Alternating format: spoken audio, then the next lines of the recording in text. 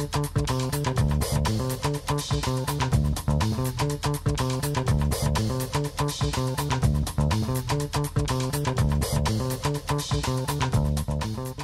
I'm Allan. I'm a local independent grocery retailer. I'm here today with Cadbury's and Shopflix.tv. I'm here to give you some advice on how to grow your confectionery sales over the coming seasons of autumn and winter.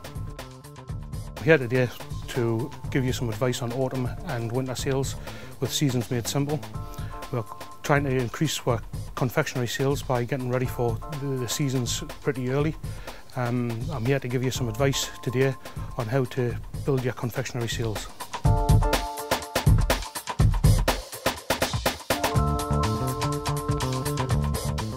We're in the singles uh, uh, aisle. Um, this is where we get most of our sales from.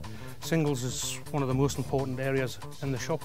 Um, at this time of year we can boost our sales hugely by having the right products in the right places at the right time.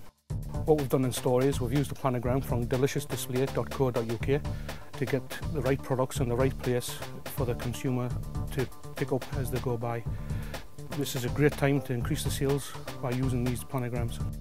One of the key areas of the confectionery is having it nice and full, nice and clean and tidy um, and having the, right price in front of the right product.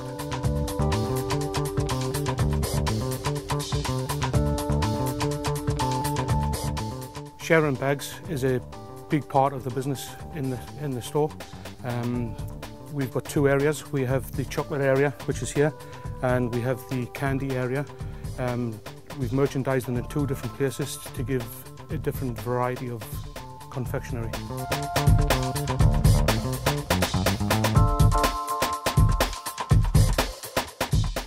One of the best ways to, to grow your sales is to bring an NPD in, um, get it into the store, get it displayed in a prominent area to increase your sales.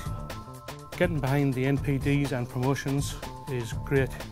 You will have TV ads, radio ads, on-pack promotions and the consumer will have better knowledge of the new products. What we've got here is an example of the new NPD, um, the Cadbury's Milk Oreo. This is an example of the, the floor display. Um, in a couple of weeks we'll be moving the product onto the shelf.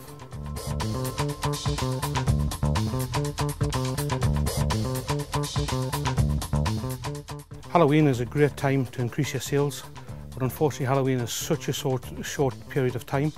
Your best bet is to concentrate on the best-selling lines like the Scream Egg, the Cadbury's Crunch, and using displays like the dumping and counter displays. To help your displays, you can use the dump bins and the counter display units.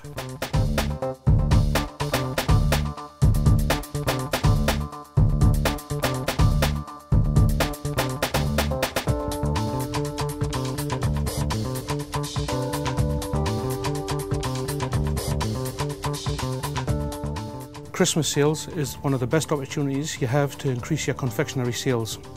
What we have done, we have set up by the end of September, ready to get the sales through the doors.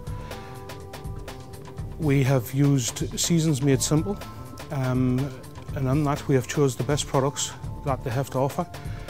We have chosen the best between gifts, advent calendars and self-indulgence sweets.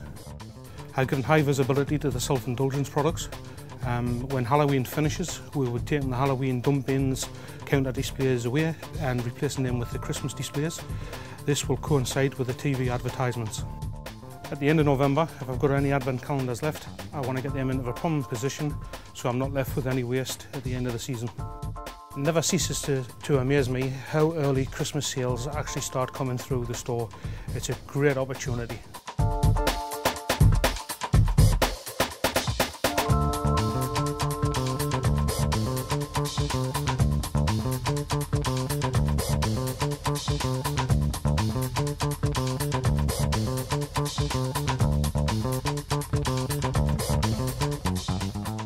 Hope you have enjoyed the video today.